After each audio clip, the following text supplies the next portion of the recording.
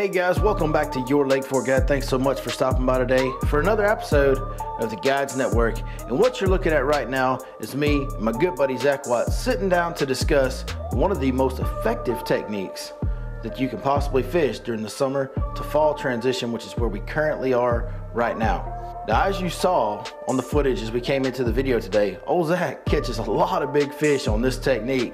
So I thought it would be better for him to teach you this technique rather than me. So let's listen in to what old Z-Dub has to say about fishing the wacky worm.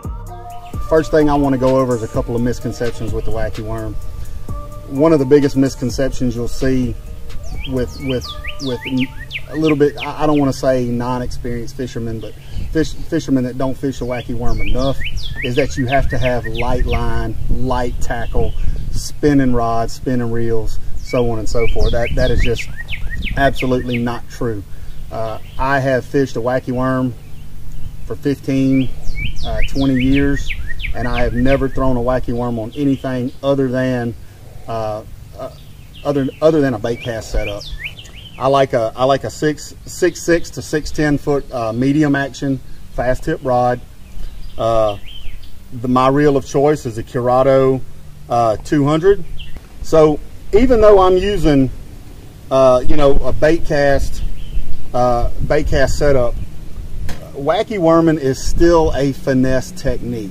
Okay, so I'm a big believer that that I will only throw this on fluorocarbon line. Uh, usually go with either 12 to 15 pound test uh, fluorocarbon. Uh, it just it, it, it, keeps it more of a finesse technique uh, because of the the way it falls with using that fluorocarbon and the fact that the fish have that much harder of a time seeing the line.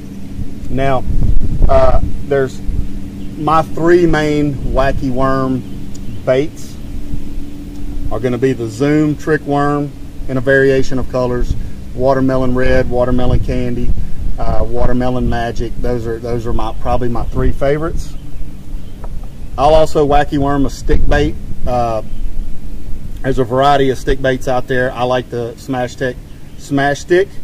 I actually caught the second biggest fish I ever caught in my life on the Smash Stick, rigged wacky. Um, old B-Law, your Lake Fork guide, happened to be in the cove I was fishing, and uh, we actually got a clip of it right here, so take a look. Zach, what'd you catch? Ah, probably maybe 23 and a half. A 10 pounder that's in the slot. That's a slot fish 10 pounder. Billy, what does that mean? Uh, 24 inches. It has to be over 24 inches to keep in a tournament or something. Yeah. And he, he, it's 16 to 24 you can't keep. So 23 and a half, that would break your heart in a tournament, bro. Now, last but not least, my third favorite option for wacky rigging is the LFT ring fry. Very versatile bait. Uh, you know, uh, what I want to talk about now is how do we rig this? Well, let me tell you about the hook I'm using. I use the Gamakatsu Finesse Wide Gap Weedless hook right there uh, in one aught. Now, you're going to go to the store and you're going to look at this hook and you're going to say, you expect me to catch, you know, six, seven, eight, 10, 12 pound bass on this hook? Yes. Yes, that's exactly right. Uh, this is, there's a plenty of other hooks on the market. I've read different reviews on this hook and that hook and people saying, oh, I like this one by far, I, I, will fish this hook over any hook on the market if I'm uh, fishing uh, fishing a wacky worm.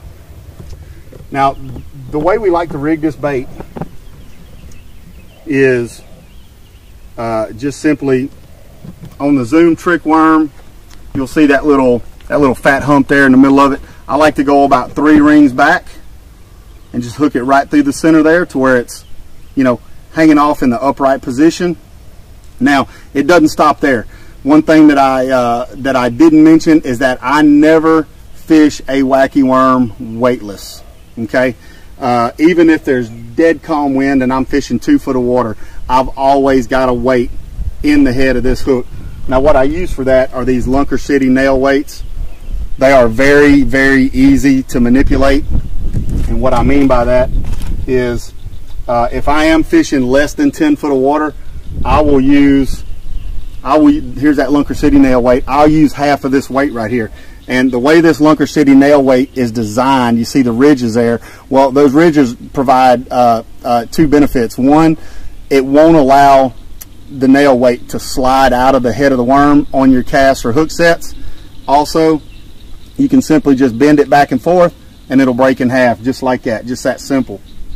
And what we'll do is we'll, we'll, uh, is we'll grab this half a nail weight here just slide it right down in there into the head of the worm right there and there we go. Now the benefit to this is when you are working this worm uh, through some grass or around a bush this worm is still going to fall very slow but it's going to fall head first.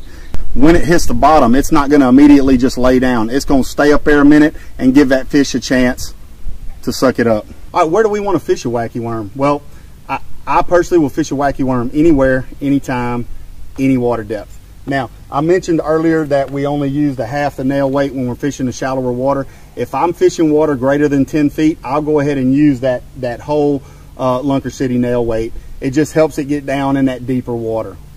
Now, as far as spots, I like to concentrate on grass, whether it be uh, hydrilla, uh, uh, coontail, duckweed, uh, duckweed's a little bit tougher to fish.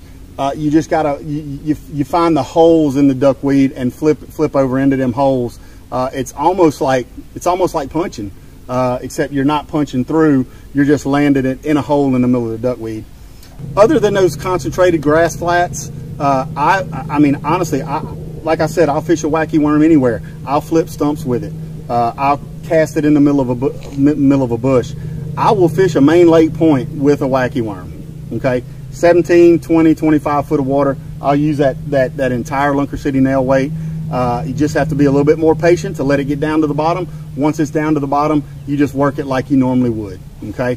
Um, but uh, uh, you know there's really never a wrong time to throw a wacky worm. I've caught them in the spring. I've caught them in the post spawn. I've caught them in the summer I've caught them in the winter. I mean, really, it literally is the best bite getting bait you can have in your boat. Now, uh, that brings me to the, the second misconception I want to talk about is that wacky worm is a small fish bait. Are you going to catch small fish on it? Of course.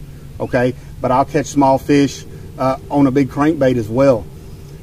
The biggest bass, the two biggest bass I've ever caught in my life have been on a wacky worm. That's an 11-4 and, and a 10 pounder. Okay, so uh, don't get caught up in the trap of oh yeah you're throwing wacky worms you're going to catch you know a bunch of bunch of pound and a half two pound fish. Yeah you are going to catch a bunch of pound and a half or two pound fish then you're going to hook into that four that seven that nine. Uh, they'll eat it just like any other fish will eat it okay? So so don't believe those misconceptions. It will catch any size fish in the lake all right so now let's uh, let's sling it out there a few times and let me talk about uh, you know, how, how I feel comfortable retrieving this bait. Hey, there's a bunch of different ways you can get a wacky worm out there. Uh, you know, you can sling it out there, you can pitch it out there, or uh, depending on your experience level, if you're trying to, to, to hit the base of a stump or a hole in some duckweed, you can certainly flip it out there. Uh, there is plenty of weight on a wacky worm. It catches a lot of fish too, doesn't it, ZW? Like I said, man, it is the, uh, you got me hung up around that stick. It is the best bite getter out there. Get him off that log? Yep. Look, you got her line right around his gill. Look how he ate it. Let's go. Hey, you think they don't like that wacky worm, baby? they will get it all the way in there. Oh my goodness, that's funny. That couldn't happen any better, could it? that's funny. Thank you. Now look, let me show you what my worm looks after that after that fish catch. Okay, it's a little bit wallered out in there where where I where I had the hook through. Great thing about a wacky worm, you can pull that hook back through there. Okay, and then uh, you know you don't have to get a brand new worm. Just simply move your hook up a little bit hook it back. So you just move that down the worm, right? Let's see where's the damage part. Damage part's damage just right, right back right here. there. And then we just moved it up the worm. I just moved it up a quarter of an inch. Now there's a bunch of different ways to fish the wacky worm. Uh, again, I'm fishing grass right here. I've got a lot of uh, lot of coontail uh, growing up just under the water surface here. Uh, I got some duckweed going down the sides. Um, so, you know, I can either throw it out in that grass flat or I can look for holes in the duckweed. If I was going to flip a hole in the duckweed, I would try to actually land this bait about six inches past the hole and slowly, slowly drag it back and let it fall in that hole in the duckweed. And then once the bait, once your once the bait gets down to the bottom, okay, cast it out there, give it a good three or four count, depending on the depth of water you're fishing. What I like to do is just reel the slack up, okay, to where it's not quite taut, but almost, and I just give it a good two or three pops right there. What that bait's doing is it's coming up like this and then slowly falling back down to the bottom head first, okay? Same thing, boom, boom, boom, okay? Now, one thing you really need to pay attention to when you are wacky worm fishing is that you know, you're not always going to feel the bites. A lot of times, right before you give it that good two or three pops, when you reel in that slack, you'll feel some tension on that line, okay? Just give it a little bit of tension and you can feel that fish pulling back or you can see your line running, running right or left, okay? Once that happens, you lean into that sucker as hard as you can. Talk about the hooks a little bit. How you set the hook on these fish? I mean, I know uh, you drill them pretty good, but that probably has a lot to do with the fact that you're fishing that medium action rod. That allows you with that small hook to go ahead and set it like a Texas rig, maybe. That's right. That's right. So, uh, you know, when I know that there's a fish on, I see my line running, or I feel that fish, uh, feel that fish pulling back. I like to do a hook set straight up. Okay, because uh, you know we, we showed you the hook earlier. It is a very small Gamakatsu uh, finesse weedless hook, but when you set that hook straight up, it pulls it straight up into the top of their mouth and you're you're jerking pretty hard. You're not holding oh, back. I'm, I'm I'm I'm trying to rip his face yeah, off. You like the steel, and that's the reason you're allowed to do that is because of the rod, right? Because of the medium medium action rod. That that's right. Now there's there there's two reasons I prefer a medium action rod. One, it's got plenty of flex in it, which will allow me, okay, to really reach back and use the not necessarily use the power of the throw. Okay, so I don't I, I'm not really using the power of the cast, I'm using the flex in the rod to whip that bait out there. You know, I mean, heck, with a with a wacky worm, that's what 60, 70 foot out there. Yeah. You know, and that's that's plenty. Uh, a lot of times, I, I really I, I just did that for an example. A lot of times, I won't cast that far because I've got the medium action rod. I like for it to be a little bit closer, so when I do need to set the hook, you know, I have I have plenty of pl plenty of backbone here with this medium action rod to set that hook. Notice I've casted, I've casted it out there. My bait has settled on the bottom. Okay, I'm gonna reel up my slack, but I feel a little tension. I'm gonna pull just a little bit more tension. Okay, I don't feel anything pulling back. I don't see my line running right or left, so I know I'm on grass. So I just give it a good, good pop, and it pops free of that grass, and then it comes on down head first. Okay, so uh, you know, like I said, just because you feel tension on your line that does not mean a fish is on there. We're fishing grass. We expect this bait to come up against that grass stalk like this, okay? And then once you pop it, it and comes off of that grass stalk, grass stalk like that. There it is again, another, another piece of grass, okay?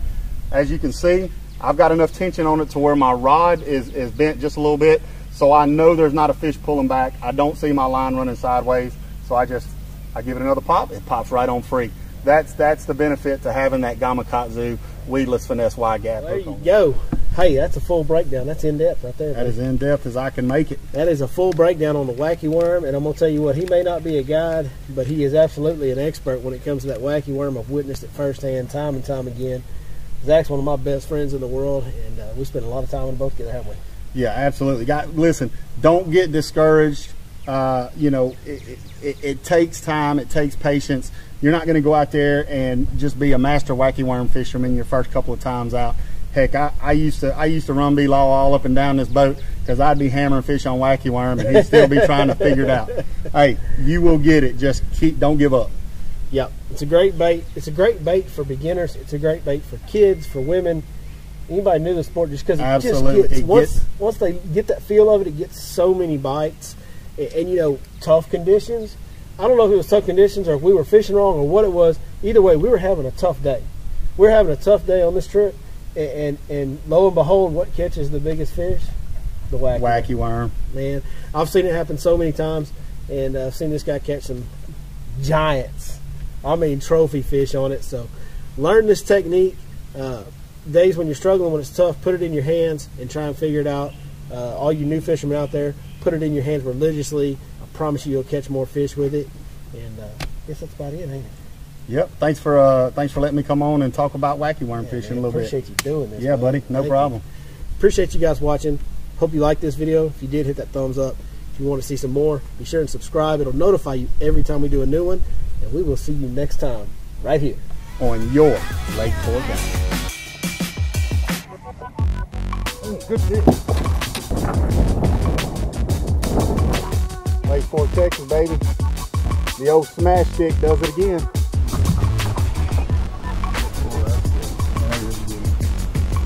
Momentum going, baby. Come on! Smash stick is getting after him, boy. I was quick bait's mad at him this I'll tell you what, he's got a winner with this, baby. Come on, Hey.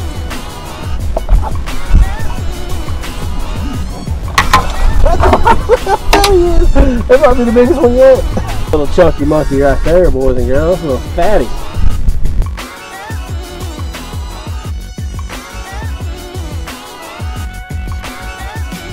Dude!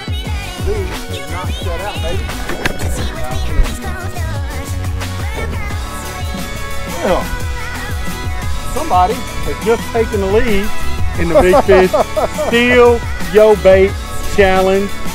ZW is not shut out. Good point. Good job, brother. I'd like to dedicate this catch to all of our boys in blue out there.